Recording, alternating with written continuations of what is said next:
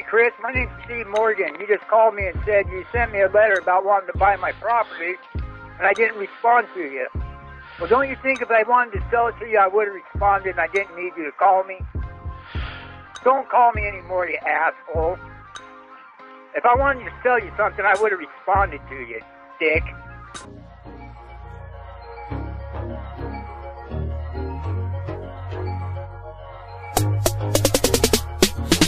I paid thousands of dollars in courses to learn what you're basically teaching on your podcast for free.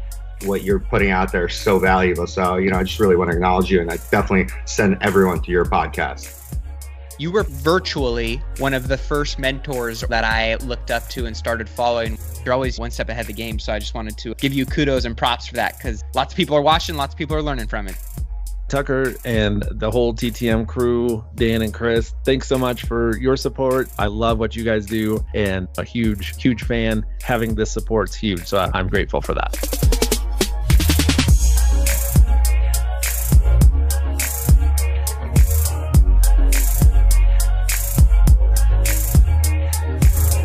What's up, everybody out there in listening land? This is episode 289 of the Real Dealz podcast, and as always, I'm your host, Tucker Merrihew. I want to thank you guys for joining me. I'm back this week. Took last week off. Mr. Dan was out of the office. DJ DJ Dan, uh, the guy that's uh, behind all of this magic and uh, all of the beats that you guys hear in between segments. Uh, that's him. So, anyway, he had a big life event going on uh, in a good way. And so he was out of the office last week. And so, um, you know, we decided that uh, we were going to hold the show for a week. And uh, on top of that, I had a lot going on. So I didn't want to just crank something out that uh, for the sake of cranking it out.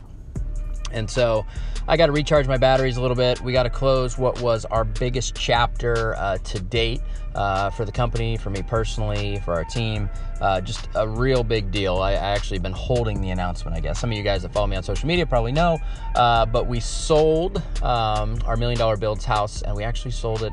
Uh, before it was ever done. So uh, it was about a 20 day uh, escrow uh, cash purchase and um, it was just uh, it was just awesome. So we sold it to some great people, and we went under contract at the very beginning of October, and we actually then closed on the 20th. Uh, so it was it was a great deal, um, cash deal. So no appraisals, no anything, and great people that we sold to.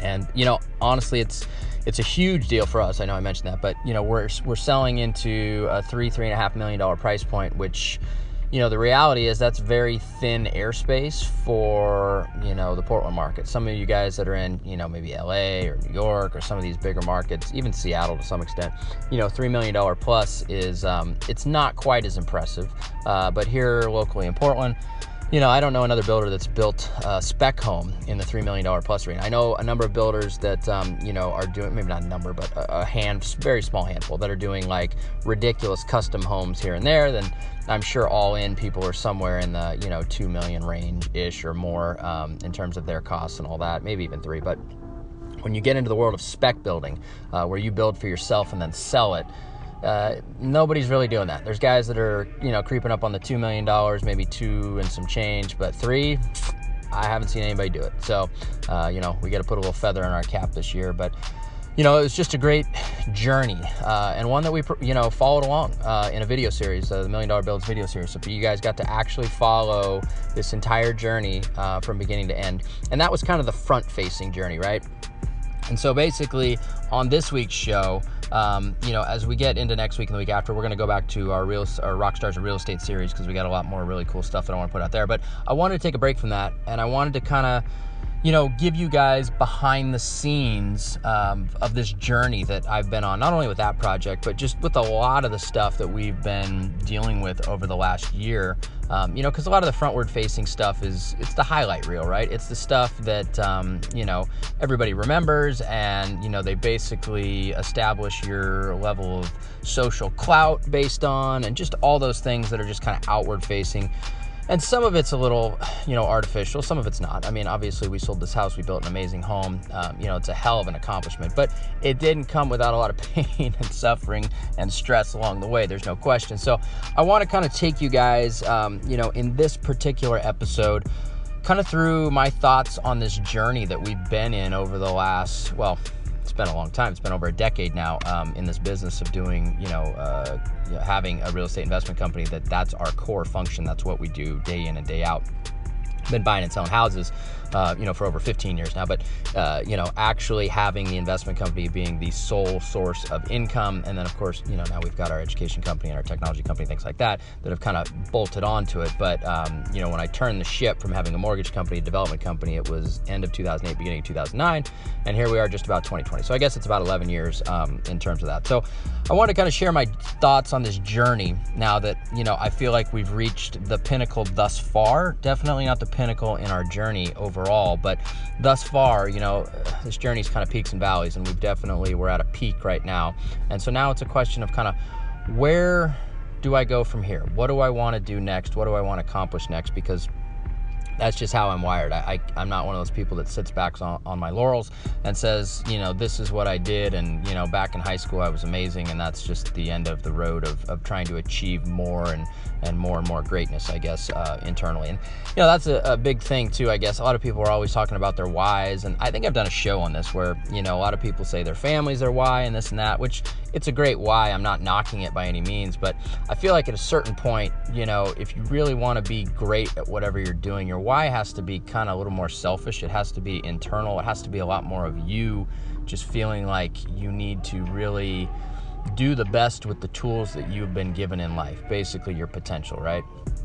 And so that's that's a big part of my way. But anyway, I want to talk about this journey, and then I also want to talk about the state of the market. I want to have kind of a an honest conversation here about just everything that's going on in this real estate investor space because to be honest, it's a bit of a circus right now. It really is. And it also is a bit of, um, you know, there's a bit of high school going on. There's the cool kids table here and there, and everybody's jockeying for social clout and who knows who and who hangs with who. And I'm not knocking it. It's just it's a it's just the truth. It's just what it is. And so i just want to put it out there. And uh, i'm sure a lot of you guys recognize that you know being more um, you know not only in the business but on the influencer side of the business as well you know maybe i this stuff i see it more clearly um, than others as well. But i want to give you my thoughts on it because we've had a long run up in this business. And usually what happens is when the market crashes it cleans out a lot of this right? Um, you know jockeying for social clout guruism whatever it is it, it clears them out most of them go bye bye, right?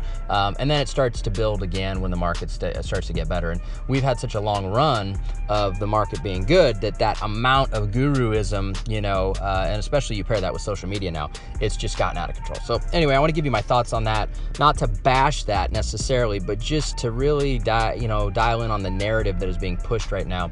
That I'm hoping you know, a lot of you guys that hear it don't feel like that's the only way that you got to do this business in order to be successful because that's the one thing I don't want to have happen. So, anyway, that's going to be the show. Not that long, but uh, very truthful, very behind the scenes, and hopefully at least get you thinking because uh, that's the point of the show, right? All right, Real Dealz podcast listeners, I want to talk quickly about our show's sponsor, Iron Bridge Lending. If you guys have not reached out to Iron Bridge already to talk to them about funding some of your upcoming flip projects, I highly encourage you to do so. I've known the owner of Iron Bridge for a very long time. I personally borrowed millions of dollars from them over the years to do a number of different projects, and I can say without a doubt they are the best hard money lending company I have ever come across, and that is the reason why they are the sole sponsor of this show. I've had a lot of other companies reach out to me and want to sponsor this show, but I just won't do it. I feel like I need to be genuine in who we have sponsoring the show, and it needs to be somebody that I've personally done a ton of business with. So I personally vouch for their ability to be the best, hands down, in the world of hard money lending. You won't find better programs, you won't find better terms, and they're lending or will be lending in over 20 states. So chances are, if you're hearing this in whatever state you're in, it's definitely worth it to check out their website, reach out to them, see if they're lending in your state, and if they are, I would absolutely encourage you to do business with them. Another very cool thing to note is that they have a program for most rehabs where you can actually borrow up to 90% of the purchase price. Now, this is given the fact that you are actually buying a deal, which if you're listening to the show, that means you probably are. But if you have an actual deal on the table, they'll fund up to 90% of your purchase price and they'll even give you rehab funds on top of that, which means that it only takes 10% down to get into a project, which is unbelievable in the hard money world. So do yourself a favor, reach out to Iron Bridge Lending, have a conversation with them, see if they're a good fit for you and for your next project. I can guarantee you that you'll be happy that you did.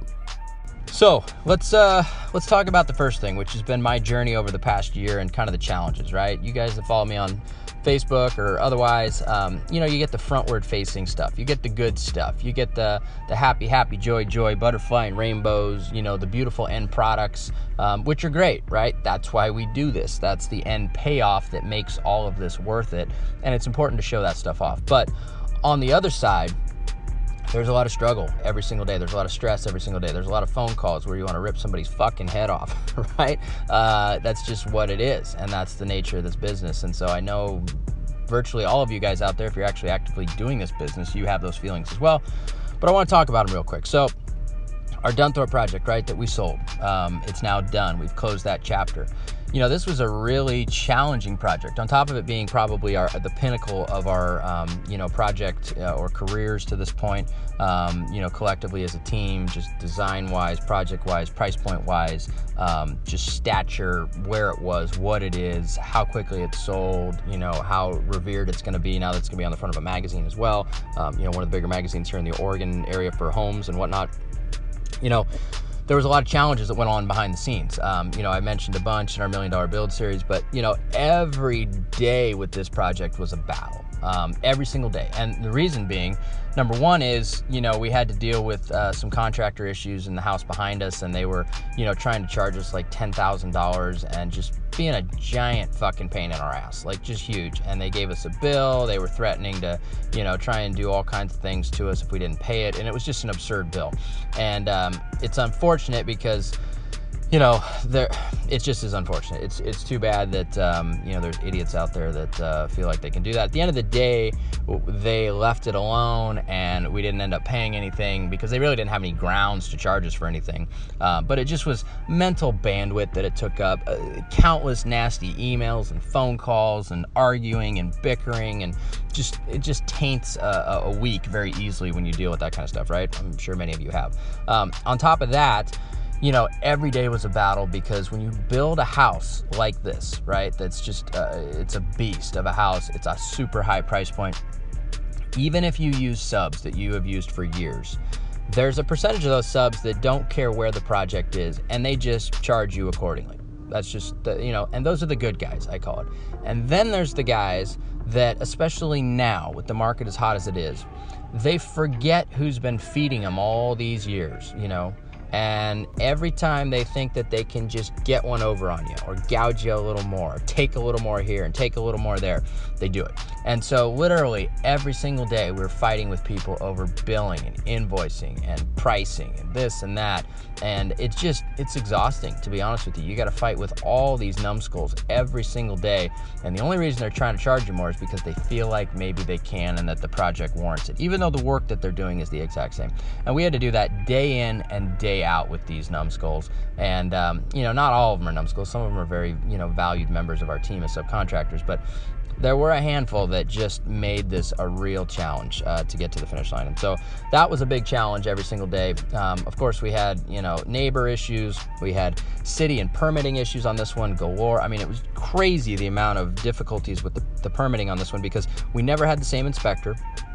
They uh, wouldn't tell you when they'd come out. It just it was a huge pain in the butt, and we had to get all of our plans not only approved by City of Portland but also Multnomah County. So it was kind of this ping pong back and forth of red lines from one organization and then another and another and another and back and forth, back and forth, and it just made this really really difficult. So that was that, and then under all of that, on the back end of the stuff that I deal with, um, you know, we run a lot of private capital through the company. We've uh, established a number of long term relationships with people where essentially I run a fund uh, to some extent for, you know, a, a good number of millions of dollars that we put to work constantly for people. And it's it's informal fund but you know there's there's paperwork to make sure that everybody's protected and this and that.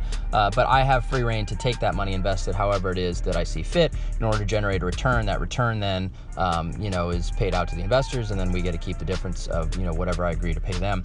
Well the challenge is is that in the middle of this project I had a $2 million note called due. And that makes for a very difficult uh, and stressful situation for me uh, because now we're trying to finish out this project, which is a huge capital suck. I mean, we're talking you know millions of dollars, and I have a note that uh, is being called due uh, for you know legitimate reasons, but it was somewhat unexpected And so it's being called due in the middle of this whole process where we have this giant project, and I've got two million dollars that I got to pull out of my ass. That's currently in the you know working in projects, and um, you know we planned on paying back at a point that we close chapters uh, if we're going to pay it back and just not on a whim. So we're kind of fighting against the clock on that, trying to get projects done so that we can clear the deck, so that we can satisfy this debt, and um, you know basically get that debt off the books and satisfy uh, you know our investors in full. Now, fortunately, we got there and we were able to do it, but let me tell you, when you got a $2 million note called due, uh, that's a lot of stress that it puts on you. That's a lot of challenges that you have to face. Um, but that's the reality of this business when you step into the next level and you start doing these things. Um, now, we structure debt other ways as well. That's property by property, but um, you know, you can structure things all kinds of ways in this business. And uh, it was an advantageous structure for us for a long time. Uh, but the estate at this point, you know, they've got uh, next of kin that are chomping at the bit for their money, and uh, that's what happened. So, anyway, that was a big challenge for us. Um, and then on top of all of that, you know, I'm fighting with another project that we've been fighting on for three years, uh, four years now, um, that uh, the city of Lake Oswego said was in a historic slide zone. Uh, well, I should say this it's not moving. It's never been a slide zone. But what we got down to at the end of the day is that this area where we bought this property was mapped as a potential historic slide zone back in 1972 for political reasons. It never actually was tested or proven to have moved in any way, shape, or form. And the reason why they did that is because uh, originally some of the uh, politicians and city leaders were trying to push to put a pipeline through this hillside, but there was some objection to it. And so that objection then hired geotechs to go out and basically craft a narrative that said that this is a potential slide zone and therefore the pipeline cannot be put here. And so then that carried forward all the way to today. And I have been fighting against this narrative that was a false narrative put out there for the last 50, 60 years, right? Um, that uh, now I've had to prove wrong. And fortunately, now we proved it wrong, but I was fighting this battle behind the scenes, which has cost us tens of thousands of dollars on top of over a half million dollars just to buy the property itself, all kinds of geotechnical work, meetings with the city, uh, countless meetings with the city, borings, inclinometer readings, all these things to prove that the original mapping of this area as a slide area was false. And they still don't recognize that it was false, but they recognize that it has never moved and it's not moving. So now we have a buildable lot. So we got to the finish line of being able to call this a buildable lot during this whole process with our Dunthorpe build and all that. But that's a lot of stress, right? We got a $2 million note call due. We're building a $3 million plus spec home. We've got, uh, you know, five, 600K of investment out there in a lot that we're trying to build, which is an amazing lot. And we're fighting the city on whether or not it's buildable you can imagine it's a fair bit of stress, right? so that's not the outward facing stuff you see, but that's the stuff that you uh, deal with behind the scenes when you start to get to this level. Now, on top of all of that, right? Let's layer in some other stuff here. Just, and I'm not complaining. I'm just showing you guys uh, because I think it's important that you deal with stuff behind the scenes. That's what I'm showing you here. And so the last thing I want to mention is our Driving for Dollars app, right?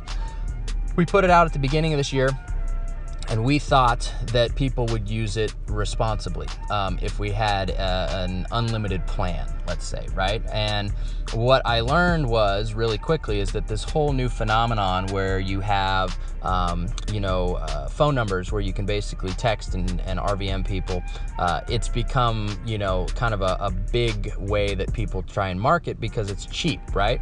And so, generally, if you do driving for dollars and you're not getting those things and you're just getting the information on the homeowner so you can direct mail market them, it's kind of a natural governor on how much or how big of a list you build because then you actually have to spend money to market to them in a certain amount, right? And that then governs how much or how big of a list you build um, that then you market to. Well, we had a lot of people because uh, all they wanted was phone number. They were pulling, you know, thousands and thousands and thousands of uh, records on any given day, and so uh, basically it put us in a really difficult position where we're eating a just a huge amount of cost for these people that really aren't pulling houses because they're good driving for dollars leads, but because um, you know they just want that data for basically free, right after a certain.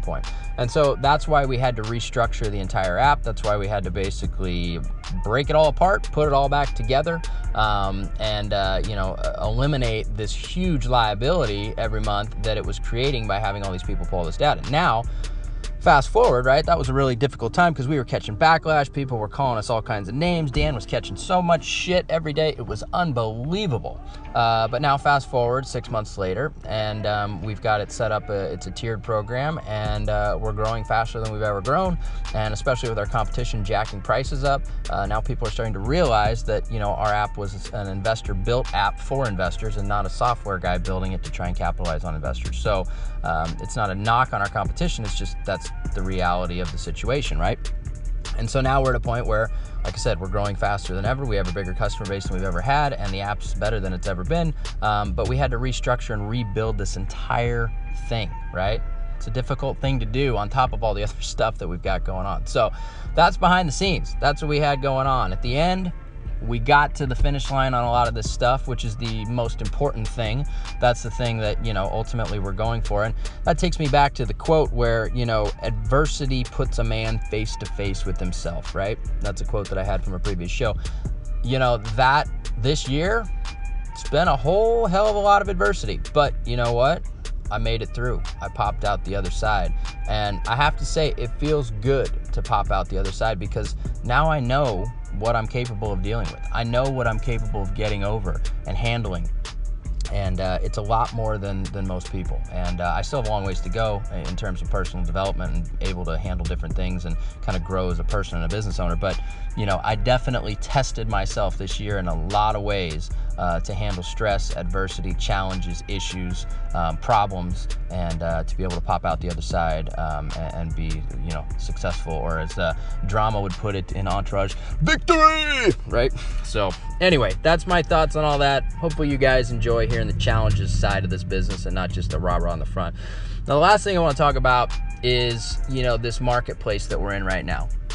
You know, we've had a long run up, and I mentioned this, and with that long run up, man, there are some serious characters out there right now. Back in the old run up, we had Preston Ely, right? He was probably uh, that and the short sale kid. Those were the two biggest characters in the space, right? Crazy hair, says crazy stuff, um, you know, just total pattern interrupt type thing. You know, not your typical kind of middle aged, kind of frumpy white dude that's talking about investing in real estate, which is basically what it was previous to that, right? Now you got this younger guy with crazy hair, tattoos, you know, talking about crazy stuff. He's got a sidekick that's got leopard print hair. That was kind of the the circus back in 2008, 9, 10, right? Well, now, fast forward to today, man, that circus is like pff, injected with steroids, and there are just, you know, there's some interesting folks all over the place, especially with social media now. Like they're everywhere. Um, you know, it's it's almost like uh, some sort of a red carpet event every time uh, you know there's a big event going on, and the way people dress and the flamboyancy and this and that, and it's you know I get it. They're brand building. They're trying to be you know recognized. They're trying to be unforgettable. Um, so I'm not knocking it. It's just the truth. It's what it is, right?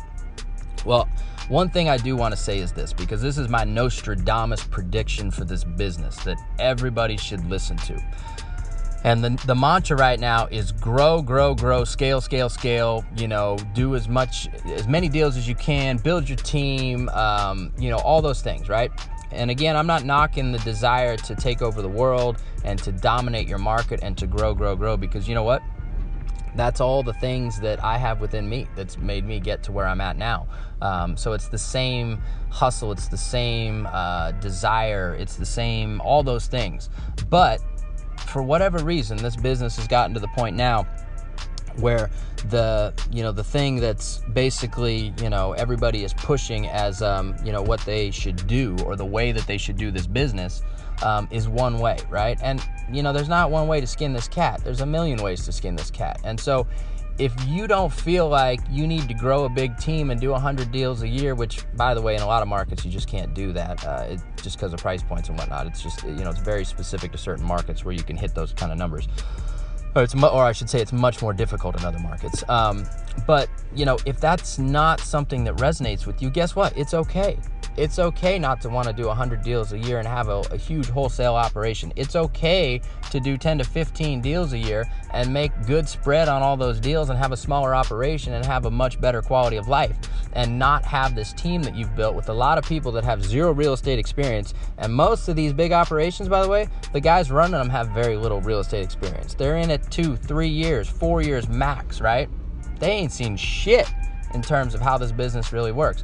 And I, here's my Nostradamus prediction for you, and I, everybody should listen to this because a lot of these bigger operations right now that are wholesaling a lot of stuff, their model is to sell the dumb money most of the time, right? You sell the sizzle, not the steak. You sell the the desire uh, to flip houses. You sell the dream. You sell the HGTV show of I can flip a house, and they're the conduit that connects these people that are fairly unsophisticated with dumber money to fit to flipping houses, which is why they get more money for them than most you know savvy investors would pay a lot of the time, right? Or they're selling to funds, right, that are just buying for a yield. Guess what happens when the market slows? Dumb money goes away overnight. Poof funds stop buying overnight. Poof. So you know who they're left to sell to? The savvy guys that are in the market. And you know what? They don't pay that much. And that's going to put a lot of these businesses in a very difficult position because they have a ton of overhead the way that they're set up. And that's going to be a day of reckoning. It's going to be a day of challenge for them. And some will make it through uh, for sure, but it's going to be very challenging. You cannot continue to sustain a lot of these businesses when the market slows just based on their business models. Now, this is what everybody should listen to that has one of those businesses. If you have one of those businesses, you better be ready to pivot. And when I say pivot, you better be able to take those deals that you're finding and retail some of them yourself. If you don't have the capital, if you don't have the ability, if you don't have the contractor relationships, if you don't have the realtor relationships to be able to take those deals that you find and retail them yourself, you're going to be dead in the water. You're going to be like a lot of those people that got washed out in the last tide when the market slowed. And that's just the fact of the matter. And uh, so the reason why I tell you this is because I don't want you guys to idolize what you see out there on social media when there are some serious cracks in those foundations. Serious. Uh, for a lot of those people. Now, some of them may be thinking otherwise, you know, have other plans. But, you know, the one thing that drives me absolutely crazy is when I hear people tell me that they're planning this and that for their recession proof business that haven't been through a recession in real estate, right? If you haven't been battle tested, your opinion means nothing to me because you really don't know what it's like. You're just going off hearsay and secondary information. And most people you're getting that secondary information from haven't been through cycles. so you got the blind leading the blind or the blind talking to the blind, and then they're regurgitating it to the masses. So, anyway, this wasn't meant to be a harsh podcast by any means. It was just meant to be a stern warning of what you follow, what you idolize, and the type of business that you should be building. So if you're building a business that's at scale, you better have a retail component to that business because you're going to have to do a lot more retailing when the market slows because that dumb money is going to disappear overnight as soon as real estate is no longer in vogue uh, to flip houses and people look at it as inherently more risky. So it's exactly what happened the last time, and it's exactly what's going to happen the next time. When that happens exactly, I don't know. Uh, you know, the run up, there's been lots of articles on, oh, we're going to have a downturn, and now they're saying millennials are coming back in and they're going to buy a bunch of houses. So who knows when it's going to happen, but I can say for certain it will happen at some point. So, anyway, that's uh, kind of my thoughts on that. And now where I go from here, right? Where am I going to go? Well, we're going to keep doing the podcast. I'll be honest with you guys, you know, the the wholesaler culture, uh, what it is uh, at this point in the business, it doesn't resonate with me. I mean, you know, the reality is that the core skill set resonates with me, and that's where we've been generating all our deals for years and years and years, and we'll continue to do that. But, you know, the what's glorified and the that particular business and how it's run, that high friction hamster just cranking on that wheel all the time, I don't like that business at all. I really don't like that mantra. I just don't like any of it, to be totally honest with you. And that's not a knock on it, it just doesn't fit for me. And so, moving forward, you know, I think that we're going to continue doing what we do in terms of uh, continually marketing direct to seller to find deals. But I think we're going to try and do bigger projects. We're going to try and make more impact. We're going to try and make more legacy. We're going to try and make bigger moves. We're going to try and continue to grow that real estate ladder. We've hit that that first big, well, I won't say first big, but we've hit a big pinnacle for our business right now. And so for me, my job now is to figure out where do we take it from here? How do we use that high point as a launch off point to go even higher and do bigger things and do better things. I, I just don't want to be that guy that's, you know, trying to do 100 wholesale deals a year and that's my thing. I want to do something much bigger. And, um, you know, that's always been my goal. So, anyway, that's me. That's what I've got going on. Different strokes for different folks. You know, you guys do you, I do me. That's the way it works, right? So, anyway, hopefully you guys enjoyed my thoughts this week. If nothing else, it's thought provoking. It gets you to think a little bit, and it gets you to see that guess what, man, I deal with shit all the time too, uh, just like you, and uh, you know, just like everybody else that's in this business, trying to trying to make a dollar out of 15 cents, right? So, anyway, that's episode 289. I'll see you all on the flip side. Catch you then.